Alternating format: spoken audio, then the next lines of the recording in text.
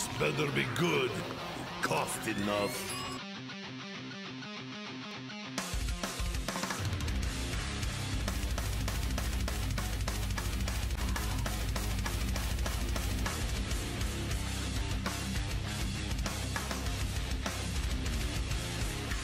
Hi guys, Mr. Bell Pepper here.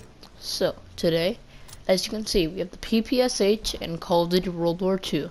Now, the reason I'm playing this right now is because PlayStation made this game free, so I'm just like, why not?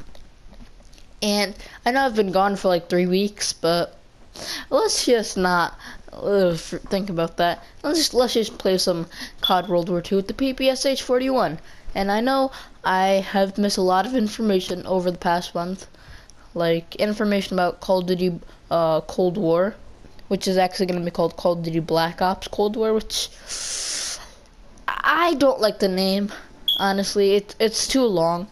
Just Call of Duty Cold War would be a nice one. Call of Duty Cold War, a Black Ops story, you know, similar to like so Solo Star Wars story, something like that. And I also missed the announcement of the Snyder Cut coming out, which over the next few months or so, I will be showing sharing my thoughts on that, which I am extremely excited for. But yeah, let's just go play some, uh, I guess TDM, and I'll see you guys in the match. Alright, so here we are. We're playing on a on the prologue zombies map, which is Groesten Haus. I'm not sure how you say it. I'm not German. Dude, come on. And and wah, the PPSH was one of the best weapons in the entire game. But maybe not now. Come on. Dude, where are these people coming from? I legitimately can't see them. Like the snow on this map, it might be, it might look cool, but I legitimately can't see anyone. Dude. Oh my god. Yeah, I'm, I'm pretty much hot doo doo. And, uh, yeah, I don't have any kills and I have four deaths already. And the enemies right now are just blocking us in our spawn. Which I don't appreciate. It's not nice. Finally. Dang. But one thing I do like about this game is that they re-added the um, whole dolphin diving thing from Black Ops 1. Which I liked. But in Black Ops 1 it was a lot more flashy and like like a legitimate dolphin on land going like going like flying down five sets of stairs. But in this game it's a lot more realistic where someone like let's say there was a grenade and they jump into the the trench or something, right? That that's how they would do it. They wouldn't like go flashy and jump like five stories in the air. But so far, I'm actually enjoying this game. Like, the supply drops are obviously not good. Oh, wow. Okay. Well, obviously, supply drops are bad, and, you know, I hate them. But I actually am really enjoying the game itself. Like, I don't care about the supply drops, but the game itself is really nice. Campaign, uh, I'm not so fond of because they have a dude named Cap Sergeant Corona, which is really funny. And um, yeah, and the zombies, it's also not that good, but the multiplayer so far is pretty fun. So yeah, hopefully I'll see you guys in the next match. One thing I legitimately don't understand about this game is why there's like Russian and Japanese guns, even though there's only American versus uh, Germans in this game which is really weird. But I'm assuming this map is sort, sort of supposed to be like a hijacked version, but like it does not look like a hijacked. But I mean, it's on a boat, so I'm guessing that's what they were trying to go for. And this iron sight is terrible. I don't know why I selected it. Oh, I just heard the Garand ping, which it's always really satisfying to hear it. Bruh, what? That was really weird. Oh, they really nerfed this PPSH. That's not good at all. It's not like the World at War one, which was like one of the best weapons in the entire game. This is poo poo. So now to talk about some uh, new stuff, like um, Black Ops Cold War, and what that's gonna be all about. I think it's gonna be a fun game because it's gonna be on the Modern Warfare engine, but like like all Treyarch games, they're gonna make it more fast-paced uh, rather than more sluggish like uh, Modern Warfare is, which I'm actually pretty happy for because I really I really like the way that Modern Warfare looks. It looks absolutely stunning. It looks like something that would be on like the PS5, which Black Ops Cold War will be on the PS5. It's just that it might be delayed a little bit, so but in Call of Duty uh, Modern Warfare, there was a really, really, really cool little clip that Activision showed the day that people thought there was going to be like a huge live event. Maybe Warzone just was going to get nuked, or maybe the dam was going to explode. But instead, it was a little conference call between, uh, I think, Khaled Al-Assad and Viktor Zakhaev, which I have seen both in the original Modern Warfare campaign. They were both, they were both like minor villains compared to Imran Zakhaev, but in this game, people are thinking that Al-Assad is actually Hadir, which if you don't, if you haven't played the campaign, then you probably don't know any of these names that I'm saying. But honestly, I'm pretty excited for what they're gonna do because it seems like Captain Price is gonna be the new operator, and one of the new weapons is gonna be the Galil. And well, the Galil is in Black Ops 1, so that could be an entire hint for Call of Duty Cold War. I'm just gonna call it Call of Duty Cold War because Black Ops Cold War is just too much to say. And I don't know why, but every single Call of Duty that I've that I've played so far, like Black Ops 4 or the new ones that I've played, Black Ops 4, Call of Duty World War 2, and uh, Modern Warfare, I've always gotten the worst map first for some reason. It's so weird.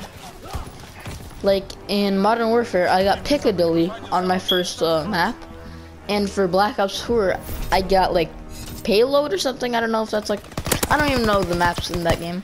But in this game, I got Gustav Cannon as the first map, which people said was like the worst thing in the game.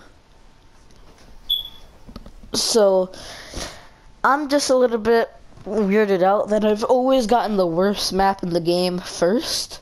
Maybe it's a conspiracy, maybe everyone does, but it's really weird. Hey, I'm number one somehow. So now that we're in this map, this match, which will be the last one, I'm gonna be talking about the Zack Snyder cut of Justice League, which I am extremely excited for because the original cut of Justice League made by the dude that made, I believe, Avengers. Um, well, if you just go on Rotten Tomatoes, you'll you'll see the uh, the reviews. And um, yeah, if you just look at one clip in particular, which is Superman versus everyone else, you'll see why people don't like that movie. Uh, one word, or actually two words, CGI mustache. But I am extremely excited for that because over on Twitter, Zack Snyder, he's been posting a bunch of pictures from the movie and like cut content like Black Suit Superman and Martian Manhunter was teased, which I am so excited for because this might this might be the thing that repairs the entirety of all of the Justice League franchise and everything that has to do with DC will probably be repaired with this movie.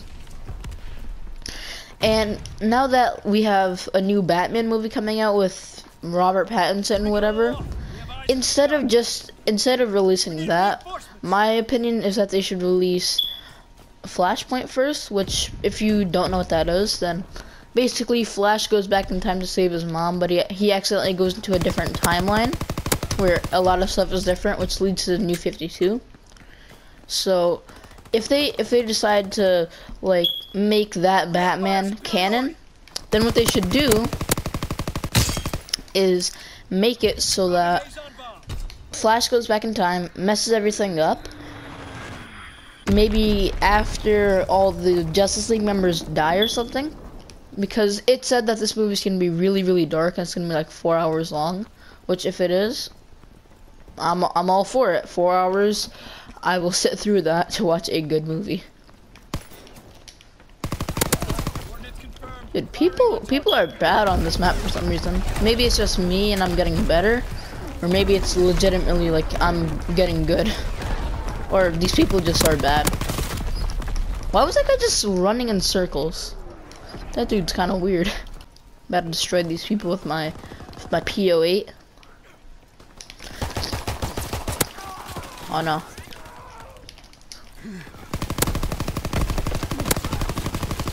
Dude, what? Okay, that was just really, really weird. Let's try this again. Let's try to get a kill with the PO8. Hey, you know what? Never mind. But as soon as season four of Modern Warfare comes out, I will be grinding for the Galil if that is the new weapon, which it is, because there is literally you could see the gun and see how it sounds in the files. So it's gonna be the new thing. And once it comes out, I will definitely be telling you guys my opinion on it, and I'll be making a video on it. I know I haven't I haven't done that for the past seasons because, well, honestly, I didn't want to make a video on it. I just wanted to try it. But the Galil, I will definitely be giving it a nice try. For all of you wondering what my next video will be, it will most likely be either a Modern Warfare video if I decide to drag it out until Season 4, or a Rambo Medic video, which I'm sort of excited for because I like Battlefield. Battlefield's fun. And but sometimes it can be really unforgiving, especially if you're not good like me and you're more of a Call of Duty fan. Okay guys, so I have one question for you. So with the PPSH, you can't grab the barrel because that is going to be extraordinarily hot. However, there's a grip but where would you put the grip? Because normally, most people, they hold it by either the magazine or they hold it where I'm going to put a little red arrow on the screen, like right there. But they have a grip somehow, which, how would they do that? No clue. Maybe they'd put it on the on the stock, but that's really weird. But hopefully you guys enjoyed the video. If you did, please do whatever you'd like, and I greatly appreciate it if you would like the video, and I'd even more appreciate it if you'd watch it multiple times. Yeah, I know I haven't asked that. That's a new thing. But I want to ask you guys that because if you enjoyed the video, do it. If you didn't, leave a dislike for all I care.